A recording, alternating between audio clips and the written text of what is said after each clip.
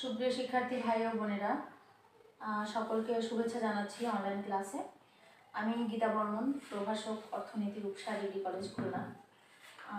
আমি অলরেডি তোমাদের একটা ক্লাস নিয়েছি দ্বিতীয় ধাপে অনলাইন ক্লাসে তো এখন আমি সেই ক্লাসের ধারাবাহিকতায় চ্যাপ্টার নাইনের সামগ্রিক আয় ও ব্যয়, এই চ্যাপ্টারের পরবর্তী কিছু টপিক আলোচনা করব।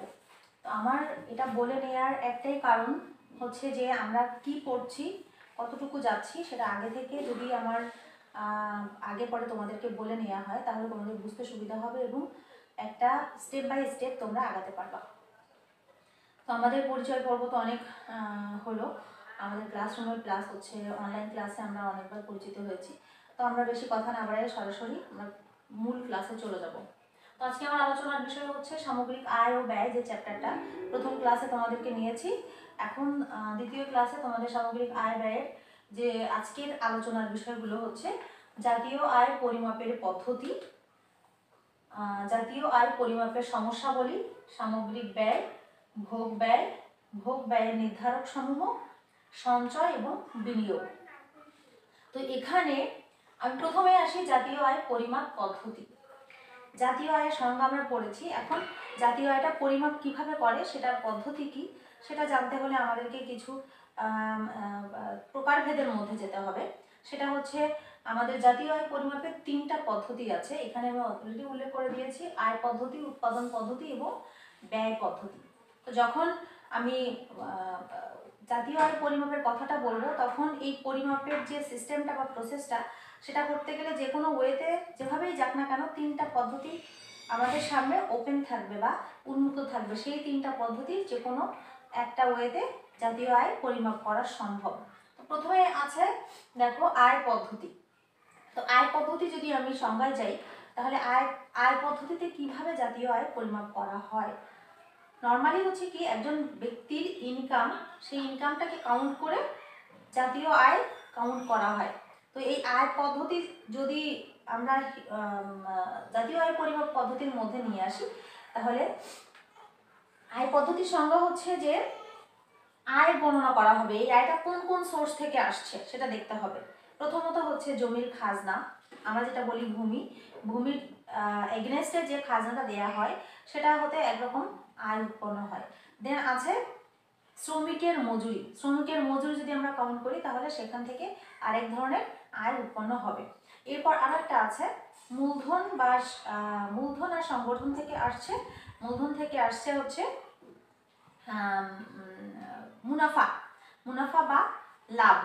এই যে সম- সমষ্টিগুলা, এই সমষ্টিগুলা থেকে যে কয়েক প্রকার আয় উৎপন্ন হচ্ছে, সেই টোটাল আয়ের সমষ্টিকে আমরা বলছি আয় পদ্ধতি।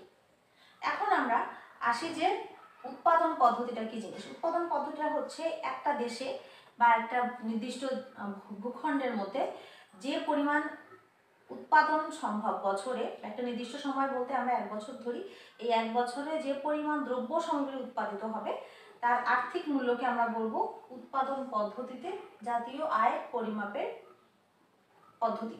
তো জাতীয় আয় পরিমাপের যে উৎপাদন পদ্ধতিটা আছে, এখানে উৎপাদনের ভেতর থেকে একটা জিনিস আমাদেরকে মাথায় রাখতে হবে যে, এখানে নিট যে উৎপাদন, নিট জাতীয় আয় যেটা, সেই নিট জাতীয় আয়টা বের করতে গেলে আমাদের উৎপাদনের পদ্ধতির যে আয়টা আছে উৎপাদন থেকে, সেই আয় থেকে ক্ষয়ক্ষতিজনিত ব্যয় বা নিট ক্ষয়ক্ষতিজনিত ব্যয়টা বাদ দিতে হবে।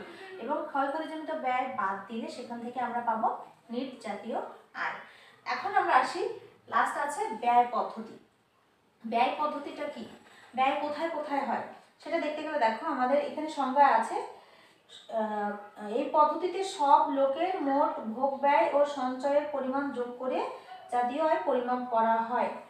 এটি একটি নির্দিষ্ট সময়ে দেশে মোট যে পরিমাণ সম্পদ উৎপন্ন হয়, তার একাংশ ভোগের জন্য ব্যয় করা হয় এবং বাকি অংশ সঞ্চয় করা হয়। আমাদের মেইন ফোকাস পয়েন্ট হচ্ছে ভোগ এবং সঞ্চয়। বলা হচ্ছে যে ইনকাম যে যে পারপাজেই করে থাকুক যে যত টাকা ইনকাম করে থাকুক, তার দুটো উদ্দেশ্য থাকবে। এক হচ্ছে ভোগ, আর এক হচ্ছে সঞ্চয়। তাহলে ভোগের ক্ষেত্রেও কিন্তু এই জিনিসটা ব্যয় হয়ে যাচ্ছে আর যে সঞ্চয় করছে, সেও কিন্তু এই জিনিসটা বর্তমান ভোগ না করে রেখে দিচ্ছে। এটা ওয়ান টাইপ অফ ব্যয়। তো এই দুটো যখন ব্যয় পদ্ধতিতে নিয়ে আসা হবে, তখন জাতীয় আয় পরিমাপের পদ্ধতিতে ব্যয়টা কাউন্ট করা হবে।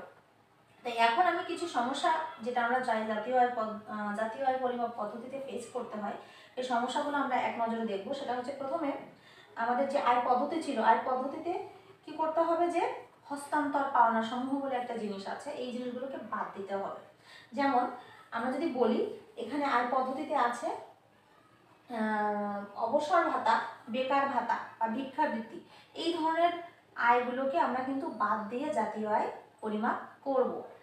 দেন আছে শিল্প, যেসব দ্রব্য যেসব দ্রব্য বা কাজের বিনিময়ে কোনো আর্থিক মূল্য দেওয়া হয় না।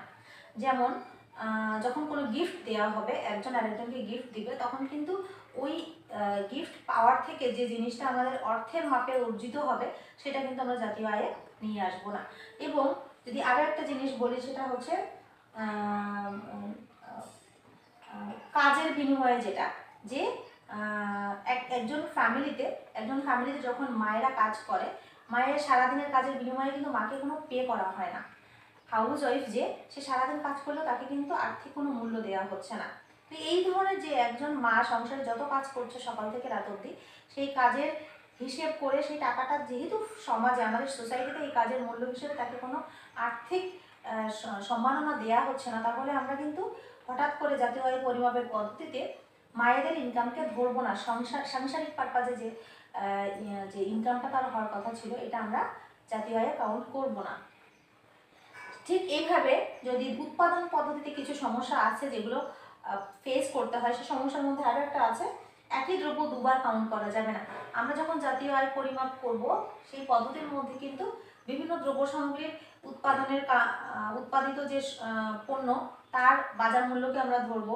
বা আয়ের, আয়, আয়ের যে সমস্যা সেটাকে ধরবো, তো এখানে একই দ্রব্য দুবার কাউন্ট করলে হবে না। মোট জাতীয় আয় থেকে ক্ষয়ক্ষতিজনিত ব্যয়- ব্যয়টাকে বাদ দিতে হবে, যেটা আমি এর আগে বলেছি যে একটা দ্রব্য সামগ্রী বা একটা মেশিনারিজ যে কোনো পারপাজে যে ম্যাশ- যে ফার্মে বা শিল্পে ইউজ করা হোক না কেন, সেটার একটা ক্ষয়ক্ষতিজনিত ব্যয় থাকে। এই ক্ষয়ক্ষতিজনিত ব্যয়টা কিন্তু আমরা জাতীয় আয় থেকে বাদ দিব। ঠিক এরকম আছে যে বিদেশ থেকে যে অর্জিত অর্থ, সেটা হবে কি যোগ এবং আমাদের দেশ থেকে যে টাকাটা বাইরে চলে যাচ্ছে, সেটা হবে বিয়োগ। এটা হচ্ছে উৎপাদন পদ্ধতির সরি এটা হচ্ছে আয় পদ্ধতির কিছু সমস্যাবলী। ঠিক এইভাবে আমাদের ব্যয় পদ্ধতিতেও কিছু সমস্যাবলী আছে যেগুলো জাতীয় আয় পরিমাপ করতে গেলে পেজ করতে হয়। সেগুলো হচ্ছে আমরা বইতে অলরেডি আছে, আমরা পড়ে নিলে পড়ে নিতে পারব। আমি তোমাদেরকে একাংশ বললাম। এরপর আমাদের আছে দেখো জাতীয় আয় পরিমাপের কিছু সমস্যাবলী। আমি এর আগের দিন তোমাদেরকে ক্লাসে বুঝিয়েছি কিছু ডেফিনেশন কিছু ইকুয়েশন তো এখন আজকে যেগুলো পড়তেছি আমরা, সেগুলো কিন্তু কিছুটা থিওরিটিক্যাল কিন্তু এই জিনিসগুলো হচ্ছে আমাদের যে ডেফিনেশনগুলো আমরা অলরেডি পড়েছি, তার সাথে সম্পর্কিত। তো এরপরের যে আমার আমার শিক্ষণ ফলে ছিল জাতীয় আয় পরিমাপের সমস্যাগুলি এই সমস্যাগুলি অলরেডি আমরা এখানে কিছু বলেছি। এখন আমরা দেখি যে আরও কিছু পয়েন্ট আউট করলে সেটা কেমন হয়। সমস্যাগুলির মধ্যে প্রথমেই আছে সঠিক তথ্য পরিসংখ্যানের অভাব। আমরা আমরা হচ্ছে বাংলাদেশ, বাংলাদেশের নাগরিক আমরা। বাংলাদেশের মতো একটা উন্নয়নশীল দেশে আমরা বাস করি। আমাদের দেশে কিন্তু অনেক ধরনের প্রবলেম আছে যেগুলো কাউন্টিং এর ক্ষেত্রে বেশি ফেস করতে হয়। যেমন কোনো ক্যালকুলেশন একটা ক্যালকুলেশন বা একটা জরিপ যখন হচ্ছে, তখন কিন্তু আমাদেরকে এটা বুঝতে হবে, আমাদেরকে ভেবে নিতে হবে যে এই জরিপটার ভেতরে অনেক সমস্যা থাকবে। অনেক প্রতিবন্ধকতা পার করে ফাইনালি একটা জরিপ একটা ডেটা বা ইনফরমেশন প্রতিষ্ঠিত করা হয় বা বলা হয় ফাইনালি প্রকাশ করা হয়। তো এই সঠিক তথ্য যদি না পাওয়া যায় বা পরিমাপের পদ্ধতিতে কোনো ত্রুটি যদি থাকে বা পরিসংখ্যানের যদি সঠিকভাবে সঠিক পথ অবলম্বন করা না হয়, সেক্ষেত্রে কিন্তু জাতীয় আয় পরিমাপে অনেক বড় ধরনের একটা সমস্যা তৈরি করে। আমরা যদি পয়েন্ট আকারে বলি, তারপরে আছে শিক্ষার অভা- অভাব। আমরা যদিও বিগত কয়েক বছরের মধ্যে আমরা শিক্ষার হার অনেকটা বাড়িয়ে নিয়ে এসেছি। আমি এর আগের দিন তোমাদের শিক্ষার, আমি কয়েকটা ডেটা তোমাদেরকে দিয়েছিলাম, যেটা হচ্ছে ইকোনমিক্সে খুব গুরুত্বপূর্ণ। তো এখানে শিক্ষার হারটাও আমরা মনে হয় দেখেছিলাম seventy seventy seven point something আমার মনে হয় বাংলাদেশের সাক্ষরতার হার। তো এই সাক্ষরতার হারটা কিন্তু কয়েক বছর আগে এতটা ছিল না, যেটা আমরা অলরেডি এটা অর্জন করেছি। তো এই সাক্ষরতার হারটা যেহেতু বাংলাদেশে এখনও বেড়েছে, তারপরও কিন্তু আমাদের দেশের প্রত্যন্ত অঞ্চলে অনেক মানুষ এখনও অশিক্ষিত বা তাদের মধ্যে শিক্ষার অভাব আছে। আর যখনই শিক্ষার অভাব থাকবে, তখনই যে কোনো ধরনের কাজ, যে কোনো ধরনের কার্যাবলী, যে কোনো ধরনের পরিমাপ পদ্ধতিতে কিন্তু প্রতিবন্ধকতা সৃষ্টি হবে। এরপর আছে দ্বৈত পরিমাপজনিত সমস্যা, যেটা আমি আগে অলরেডি বলেছি যে একই জিনিস আমার ডাবল কাউন্টিং হচ্ছে কি না একটা জিনিস পরিমাপ করতে গেলে এটা মাথায় রাখতে হবে যে একই জিনিস আগে আমার পরিমাপ করা হয়ে গিয়েছে, সেটা আবার আরেকবার পরিমাপ করা হচ্ছে কিনা। যেমন আমি যদি এক্সাম্পল বলি ফর এক্সাম্পল যে কাগজের বাজার মূল্য আমার কাউন্ট করা হয়ে গিয়েছে আয় পদ্ধতিতে। এখন আমি এই কাগজের মূল্য অলরেডি আমি নিয়ে ফেলেছি। এর মধ্যে যদি আমি কাগজের যে র যেটা, এখন কাগজের মার্কেট প্রাইস আমার অলরেডি কাউন্টের মধ্যে আছে। এরপরে যদি আমি বইয়ের দোকানে যেয়ে ওই বইয়ের মূল্যটা যদি কাউন্ট করি, তাহলে কি হচ্ছে? কাগজের মূল্য একবার কাগজ হিসেবে হচ্ছে, একবার বই হিসেবে হচ্ছে। তাহলে কিন্তু এখানে ফ্রেশ কাউন্টিংটা হলো না। তো সেক্ষেত্রে এরকম এরকম অসুবিধার কারণে এটাকে বলা হচ্ছে দ্বৈত গণনাজনিত সমস্যা। এগুলো কিন্তু যারা জরিপ করে, যারা বাংলাদেশের প্রত্যেক অর্থনৈতিক সমীক্ষা প্রকাশ করে, তাদেরকে কিন্তু এই জিনিসগুলো ফেস করতে হয় বলেই এগুলো জাতীয় আয় পরিমাপের সমস্যাবলী হিসেবে পরিচিত। তারপর আছে পারিবারিক ভোগ- ভোগ। এই ব্যাপারটা হচ্ছে এরকম যে, আমাদের উৎপাদক উৎপাদক যারা, উৎপাদনকারী যারা যারা দ্রব্য সামগ্রী প্রডিউস করতেছে তারা কিন্তু বিক্রি করতেছে বাজারে এবং সেখান থেকে ইনকাম হচ্ছে, সেই ইনকামটাকে আমরা নিচ্ছি জাতীয় আয় কাউন্টিং এর ক্ষেত্রে। কিন্তু অনেক সময় এরকম হয় যে একজন উৎপাদক, সেও তো এক এক অর্থে সে ভোগকারী, তাই না? ভোক্তা। তো তাদের উৎপাদনের কিছু অংশ তারা উইদাউট কোনো ক্যালকুলেশন উইদাউট কোনো কাউন্টিং তারা ভোগের ক্ষেত্রে ব্যবহার করে ফেলে। যখনই তারা তাদের উৎপাদনের একটা অংশ, একটা পার্ট যারা ভোগের ক্ষেত্রে ব্যবহার করবে, তখনই কিন্তু এখানে ওই যে উৎপাদনের পরিমাণটা টোটাল পাঁচ মন ধান হচ্ছে, সেখান থেকে সে এক মন খেয়ে ফেলছে। যখন জরিপ করা হচ্ছে, তার উৎপাদনটা নেওয়া হচ্ছে পাঁচ মন কিন্তু এক মন সে পারিবার, পারিবারিক উদ্দেশ্যে যে ব্যয় করছে, সেটা কিন্তু নেওয়া হচ্ছে না। তো সেই জিনিসগুলো হচ্ছে কি জাতীয় আয় পরিমাপের যে পদ্ধতি আছে, সেইখানে আমাদের অনেক সময় ঝামেলা তৈরি করে। এরকম আরও কিছু জিনিসের যেমন ক্ষয়ক্ষতিজনিত ব্যয়, কৃষি ও শিল্প অসংগঠিত কর ফাঁকির প্রবণতা। আমি লাস্ট যেটা টপিকটা বলব সেটা হচ্ছে কর ফাঁকির প্রবণতা। বাংলাদেশের মানুষের করটাকে অ্যাভয়েড করার অনেক বড় একটা টেন্ডেন্সি আছে যে, আমি কর দিব না বা ট্যাক্স দিব না। যদিও সেটা এখন একটা সিস্টেমের মধ্যে চলে এসেছে, আগের থেকে অনেকটা ইমপ্রুভড তারপরও বাংলাদেশের মানুষের সহজাত প্রবৃত্তি কর ফাঁকি দেওয়া তো কর ফাঁকি দেওয়ার জন্য অনেকে কিন্তু তার অ্যাকচুয়াল যে ইনকাম একজন বিজনেসম্যান বা একজন উৎপাদক, তার আসল যে ইনকাম সেটা বলবে না। কারণ আসল ইনকামের কথা যদি সে বলে দেয় তাহলে সেই ইনকামের এগেনস্টে তাকে ট্যাক্স পে করতে হবে। তো সেই জন্য হচ্ছে কি, যে কর ফাঁকি দেওয়ার প্রবণতাটাও হচ্ছে জাতীয় আয় পরিমাপের সমস্যাবলী হিসেবে চিহ্নিত। এরপর আমরা আসব হচ্ছে সামগ্রিক ব্যয়। আমরা সামগ্রিক ব্যয় অলরেডি সামগ্রিক আয় তো আলোচনা করেছি, সামগ্রিক ব্যয় সেম ডেফিনেশন শুধু আয়ের জায়গায় ব্যয়। তো এখানে সামগ্রিক ব্যয়ের ভেতরে তিনটা জিনিস আছে। সেটা হচ্ছে ভোগ, ব্যয়, সঞ্চয়, বিনিয়োগ। আমি তিন, তিনটা টপিক নিয়ে তোমাদের সামনে কথা বলব। ভোগ, ব্যয়। যখন ভোগ, ব্যয় আমরা বলব, ভোগ, ব্যয় হচ্ছে কি যে মানুষ ভোগের পারপাজে যে ব্যয়টা করে সেটাকে আমরা বলব ভোগ, ব্যয়। এবং এই ভোগ, ব্যয়টা কিন্তু অটোমেটিক্যালি ব্যয়যোগ্য আয়ের মধ্যে পড়ে। মানুষ ভোগের পারপাজে যে ব্যয়টা করছে, সেই ব্যয়টা কিন্তু সে একেবারে ডিরেক্টলি করতেছে এবং তার ওই ভোগ, ব্যয়টা মানে হচ্ছে ওই টাকাটা খরচ করার সম্পূর্ণ অধিকার তার আছে। তো ভোগ, ব্যয় যখন আমরা করব, ভোগ আহ, একটা ইকুয়েশন আছে সেটা হচ্ছে সি সমান সমান ফাংশন অফ ওয়াই একজন ব্যক্তি কতটুকু ভোগ করবে কতটুকু সে তার পরিবারের পারপাজে বা তার ব্যক্তিগত পারপাজে সে ভোগ করবে ভোগের জন্য ব্যয় করবে সেটা কিন্তু ডিপেন্ড করতেছে তার ইনকামের উপরে। যখন ইনকামটা বেশি হবে তার ভোগটা ন্যাচারালি খুব বেশি হবে বেশি হবে আর যখন ইনকাম কম হবে তার ভোগটা কিন্তু ন্যাচারালি কম হবে। তো এই জিনিসটা আমরা বোঝানোর জন্য বলছি C equal to function of Y মানে ভোগটা সবসময় ইনকামের উপরে ডিপেন্ড করে। এখানে আরও একটা ইকুয়েশন আমি মিস করে গিয়েছি, সেটা হচ্ছে সামগ্রিক ব্যয়ের একটা ইকুয়েশন আছে, সেটা হচ্ছে C plus I plus G plus X minus M এটা আমি আমার আগের ক্লাসেও তোমাদেরকে বলেছি, তারপরও আজও একবার বলে যাচ্ছি, সেটা হচ্ছে সি ফর কনজামশন বা ভোগ আই ফর ইনভেস্টমেন্ট বা বিনিয়োগ এবং জি ফর গভর্নমেন্ট এক্সপেন্ডিচার সমান সমান sorry plus X minus M এখানে এক্স হচ্ছে এক্সপোর্ট এবং এম হলো ইম্পোর্ট তো এই দুটো জিনিস একসাথে করে কিন্তু সামগ্রিক ব্যয়টাকে দেখানো হয় এবং এক্সটাকে সবসময় যোগ করা হয় আর ইম্পোর্টটাকে সবসময় বাদ দেওয়া হয়। কারণ ইম্পোর্ট করলে হচ্ছে কি, বাংলাদেশ যদি ইম্পোর্ট করে তাহলে বাংলাদেশের কাছ থেকে টাকা বাইরে চলে যাচ্ছে। এরপর আমরা আসি সঞ্চয়। সঞ্চয়টা কি জিনিস? আমি আরেকটা টপিক তোমাদেরকে বলে আসি যে ভোগ ব্যয়, এখানে আমি দুটো চিত্র এঁকেছি, একটু খেয়াল করো। এখানে ও এক্স অক্ষ, এখানে ওয়াই অক্ষ। ও ওয়াই অক্ষে আমরা কনজাম্পশন বা ভোগ দেখিয়েছি, আর ও এক্স অক্ষে আমরা ইনকাম দেখিয়েছি, যেটাকে আমি আই দিয়ে এখানে তোমাদেরকে দেখাইছি। তো এখানে হচ্ছে বলছে যে উপরেরটা হচ্ছে স্বয়ংভূত ভোগ বা অটোনামাস অটোনামাস কনজামশন তো এটা বলা বলা হচ্ছে যে একজন ব্যক্তির যদি ইনকাম জিরো হয়, তার কিন্তু একটা নির্দিষ্ট পরিমাণে ভোগ থাকবে। সেই জন্য এই রেখাটা, ভোগ রেখাটা ভূমি অক্ষের সাথে সমান্তরালভাবে দেখানো হয়। যে ভোগ তার ইনকাম যাই হোক না কেন, তার একটা নির্দিষ্ট পরিমাণ ভোগ তাকে করতে হবে। কারণ হচ্ছে কি, মানুষ যেহেতু তাকে খেতে হবে, পড়তে হবে, বাঁচতে হবে।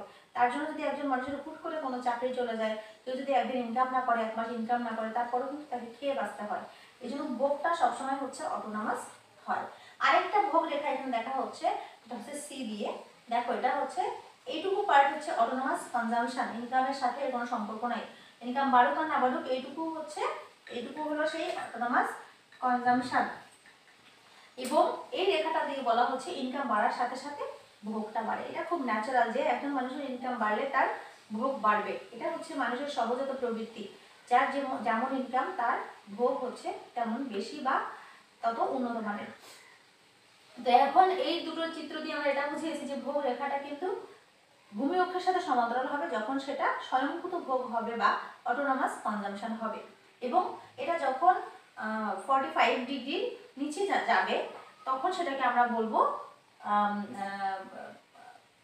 এটা হচ্ছে ইনডিউসড ইনডিউসড কনজামশন বা প্ররোচিত ভোগ ব্যয়।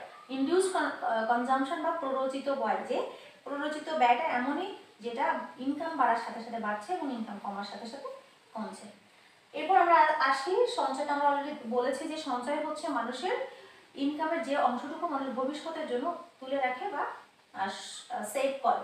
তো এটাকে আমরা যদি ইকুয়েশন আকারে দেখাই তাহলে S equal to Y minus C এটা ইনকাম থেকে কনজামশন বাদ দিলে আমাদের কি থাকবে? সেভিংস বা সঞ্চয় থাকবে। যেমন একজন মানুষের পঞ্চাশ হাজার টাকা যদি ইনকাম হয় এবং ব্যয় যদি বিশ হাজার তিরিশ হাজার টাকা হয়, তাহলে ইনকাম যে পঞ্চাশ বিয়োগ তিরিশ সমান সমান বিশ হাজার হচ্ছে তার সেভিংস বা সঞ্চয়। একজন মানুষের ইনকাম থেকে ভোগ ব্যয় বা টোটাল ব্যয়টা বাদ দেওয়ার পরে অবশিষ্ট যে অংশ সে ভবিষ্যতের জন্য সেভ করবে বা সঞ্চয় করবে সেটাকে আমরা বলব সেভিংস বা সঞ্চয়। লাস্ট আছে বিনিয়োগ। বিনিয়োগটা হচ্ছে ইনভেস্টমেন্ট ইনভেস্টমেন্ট মানে হচ্ছে ইকোনমিক্সে ইনভেস্টমেন্ট বা বিনিয়োগ বলতে হচ্ছে অতিরিক্ত উৎপাদনের কাজে লাগানো। সমস্ত অর্থের পরিমাণকে আমরা বলছি বিনিয়োগ। এটা হচ্ছে অর্থ হতে পারে বা কোনো দ্রব্য সামগ্রী হতে পারে যেটা অতিরিক্ত উৎপাদনের কাজে ব্যবহার করা হচ্ছে। রি রি ইউজ করা হচ্ছে, সেটাকে আমরা বলছি বিনিয়োগ। তো আজকে এই টপিকগুলোই ছিল আমার আজকে ক্লাসের মূল আলোচ্য বিষয়। যে সামগ্রিক আয় ও ব্যয় পদ্ধতি, পরিমাপ পদ্ধতি, সমস্যাবলী এবং কিছু ছোট ছোট টপিকস তো এর পরবর্তী ক্লাসে আমরা একটু চিত্রে যাব, একটা চিত্রে যাব। প্লাস হচ্ছে আমরা ক্লাসটা শেষ করব। আমাদের চ্যাপ্টার নাইন যেটা চ্যাপ্টার নাইন হচ্ছে আমি তিনটা ক্লাসের মাধ্যমে তোমাদেরকে শেষ করব। অলরেডি দুইটা ক্লাস আমার আজকেরটা দিয়ে দুইটা ক্লাস শেষ হয়ে গেল।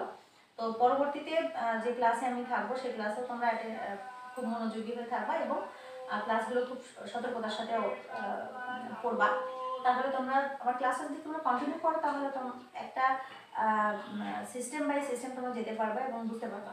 তো পরবর্তী ক্লাসে আমরা এই চ্যাপ্টারের লাস্ট পার্ট তোমাদেরকে বোঝাবো। তো সে পর্যন্ত সকলে সুস্থ থাকো, ভালো থাকো। ধন্যবাদ।